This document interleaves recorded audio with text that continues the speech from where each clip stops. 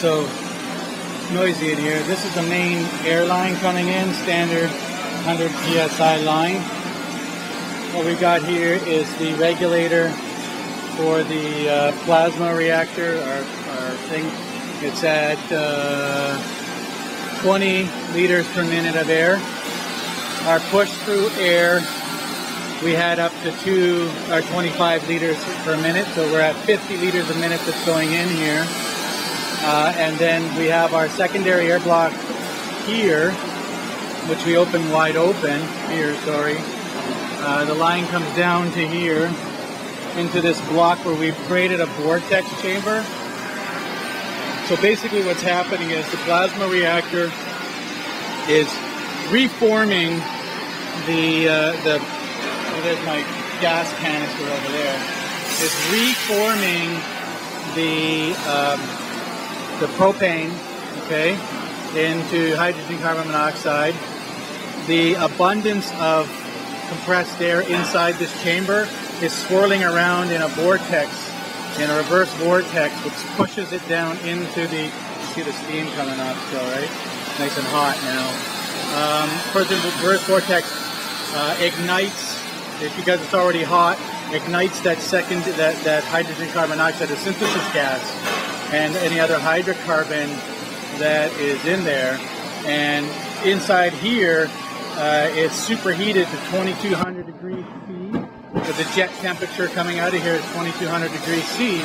Uh, and then what we do, then notice that we're working off of is this gas expansion principle, right? So once this little bit of air goes in here, it, it gets like heated up to 2200 degrees C, ends up at the volume is, is huge compared to what we're putting in here, right?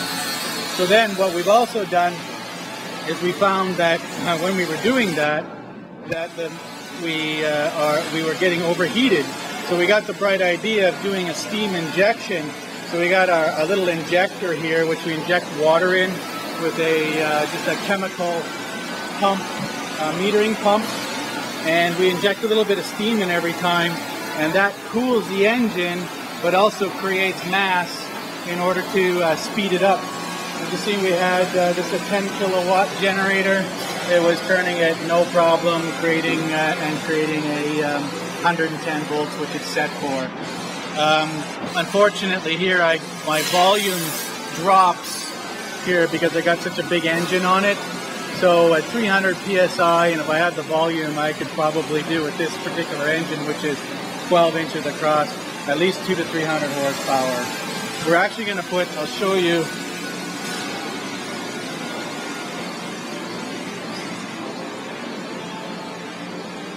this engine on here. This engine on here because uh, it's more suited for the 10 kilowatts. It's probably about 30 horsepower total. And then we've got these ones here, which are our seg system. This is how this is basically the same principle. And what we're doing here is we're setting it up to be sent off to uh, be tested. But as you can see, this is the internal cage here. Inside there's an inner and outer, uh, inner and outer inter-engaging rotors. And as, air, as everything comes in here, whatever we're doing, it causes this, this shaft is on a eccentric, so it causes like both a piston action and a rotary action. It's really quite slick. It's both on rotary bearings. This one here, uh, easily 500 or more horsepower. Okay, that's it. And this is our shop that we've got for now. We're got uh, two, three CNC machines, and a bunch of other conventional machines and we just pop this stuff off. As you can see it's still still steaming. There's still energy stored in this thing uh, from the heat from the uh, vortex chamber.